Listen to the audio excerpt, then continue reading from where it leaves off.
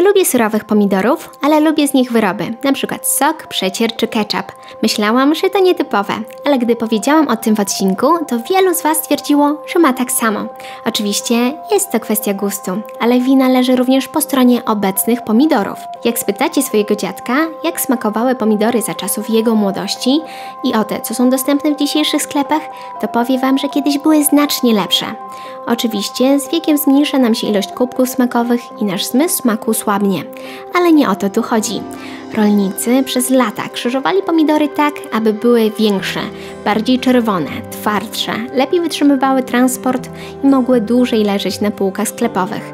Ich smak był drugorzędny, jako że konsumenci kupują oczami, a nie językiem, więc geny odpowiedzialne za smak w pomidorach były stopniowo utracane. Żeby przywrócić smak obecnym pomidorom, naukowcy z Uniwersytetu we Florydzie wzięli prawie 400 różnych odmian pod lupę, aby określić sekwencję genomów i zobaczyć, co dokładnie się zmieniło. Przeprowadzili również wieloletnie badanie, w którym częstowali ludzi różnymi odmianami i stworzyli listę związków chemicznych, które są silnie powiązane ze smakiem, który nam odpowiada.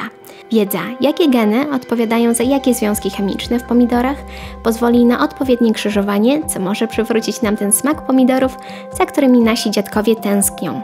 Pomidory przyszłości mogą być nie tylko wielkimi i twardymi, ale również pysznymi owocami. Tak, owocami. Pomidory są owocami, warzywami też. Ale to temat na inną naukową ciekawostkę w 100 sekund.